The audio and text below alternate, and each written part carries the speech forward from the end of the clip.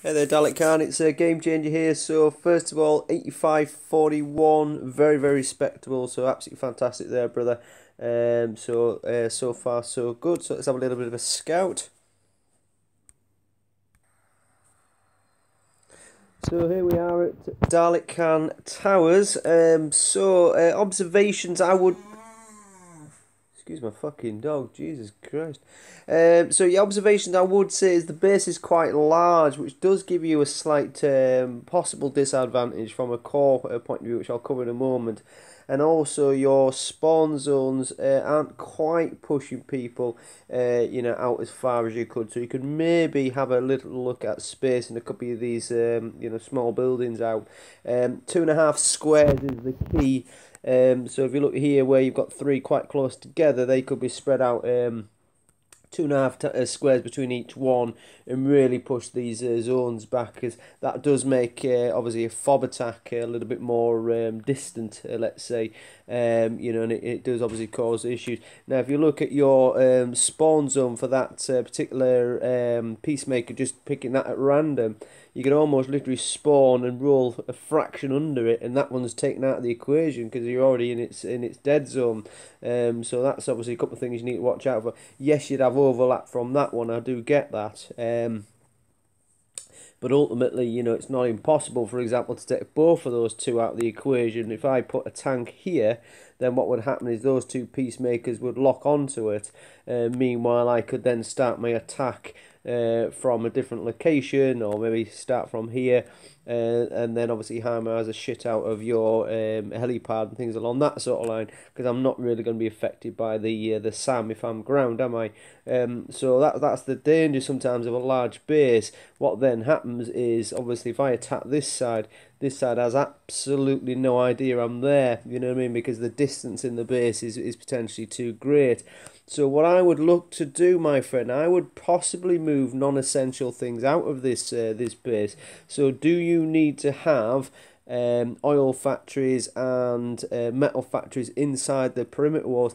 I would personally argue not. Um, so I would bring them outside the walls, which will obviously help with the spawn zone. Um, do you need the um, power plant inside the walls? Again, I would argue not. Same with obviously the um, the global ops and things along that sort of line. Um, you know, so I would I would take all the non-essential things that are currently inside the wall out of the wall, bring your walls in potentially more to make a much tighter base.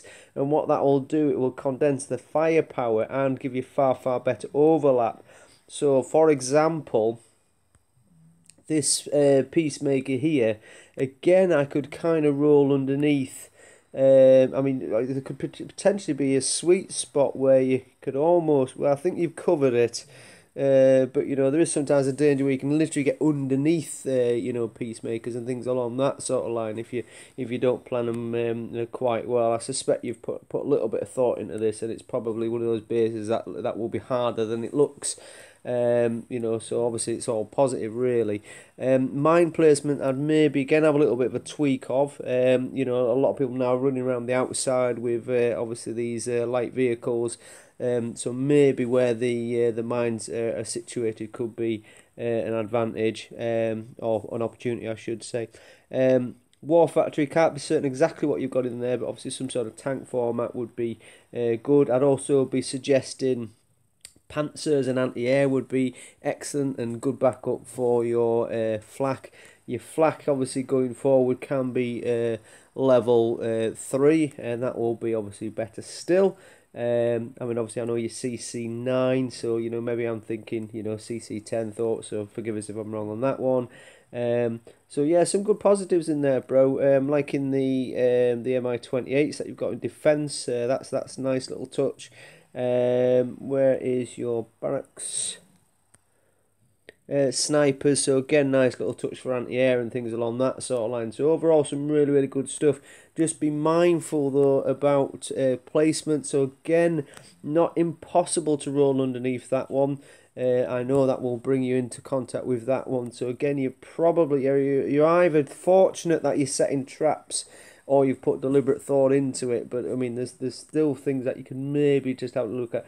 But uh, overall, the biggest thing I would suggest that you do, my friend, is really take the size of the base down a bit. You know, the core where obviously all your firepower is, um, and I would potentially I say bring uh, turrets closer together so there's even better overlap and there's no danger that you're attacking from one side while the other side's completely oblivious. Uh, that's possibly how I would uh, look at it. Uh, give us a bit of feedback on what you think, bro. Because if you're spotting someone I'm not, if uh, if obviously your experience, you know, if this is, for example, the perfect GR beating base, for example, if that was kind of your thought process why everything's uh, the way it is, then obviously give give us feedback because I always reserve the right to be wrong, but that's just my observation as a as a keen game player. All right, bro. Thank you.